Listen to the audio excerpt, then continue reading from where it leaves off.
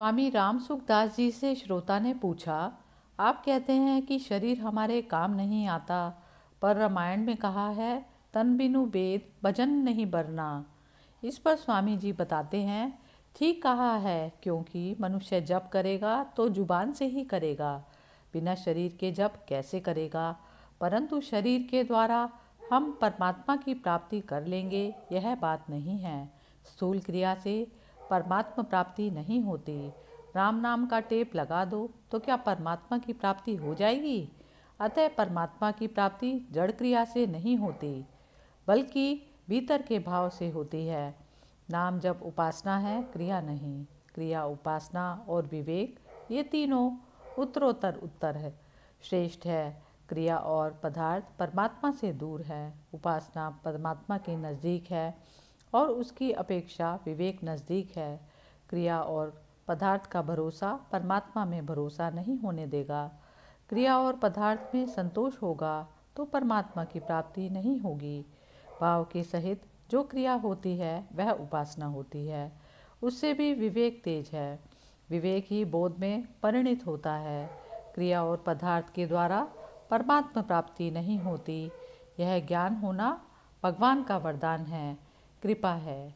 प्रार्थना भी शरीर से होती है, पर यह उपासना है।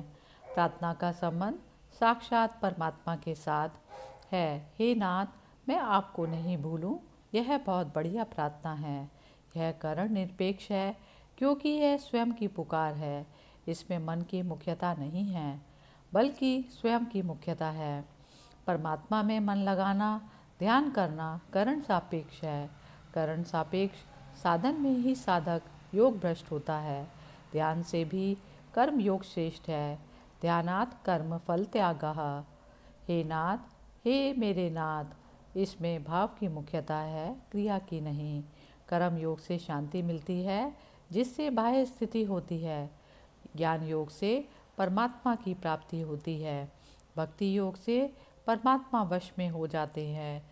भक्त, भगवान के परायण होता है। तो भगवान भी भक्त के परायण हो जाते हैं।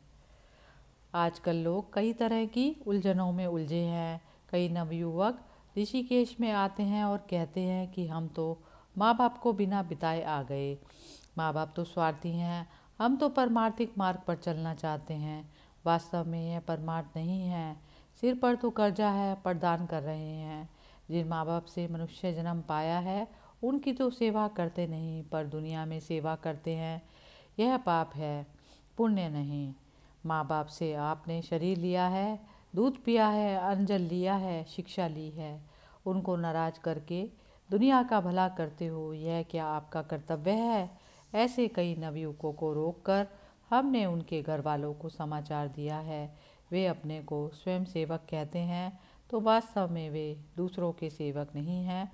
बल्कि स्वयं सेवक अर्थात अपने ही सेवक हैं, क्योंकि बाहर जाकर सेवा करने से महिमा प्राप्त होती है। घर में वह महिमा नहीं मिलती। वास्तव में उनका सेवा करने का शौक नहीं, बल्कि अपनी महिमा करवाने का शौक है। घर वालों की सेवा करना एक नंबर है। बाहर की सेवा करना दो नंबर है। इसलिए कम से कम पहले कर्जा उतारो।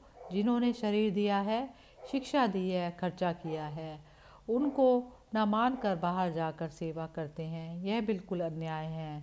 घर में माँ बाप बीमार हैं और चले हैं दुनिया की सेवा करने। इसलिए पहले घर वालों की सेवा करके कर्जा उतारो, पीछे उपकार करो। उनकी आज्ञा लेकर बाहर जाओ। ऐसी बहुत सी बातें हैं जिनमें लोग उलझे हुए हैं। हरि ओम। तत्सत।